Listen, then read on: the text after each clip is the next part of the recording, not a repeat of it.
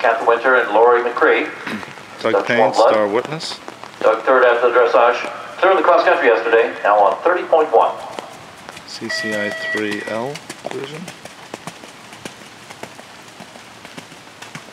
Doug and Starr Witness, winners at the Fork back in April. Sixth at Pine Top. They were second of the two-star finishing off the season last year down at the Jockey Club. Got it down sec- second place, 30.1.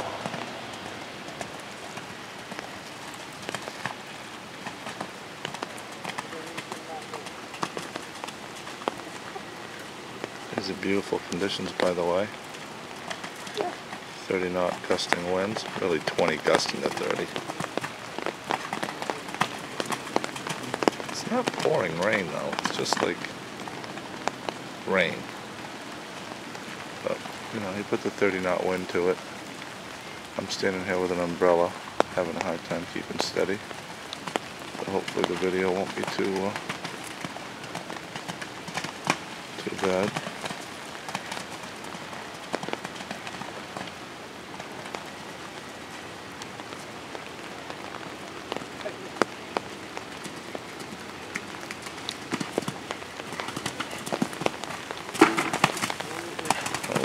Stayed in the cups. That's just good clean living right there. Good clean living. And you might be not surprised that he made time by six. uh, Well, double spear again for Doug. Payne on the exact same time of 68. Well done for Doug. Two double clear rounds, and he will finish on 30.1. Early staying in second place. With our leader now coming on in.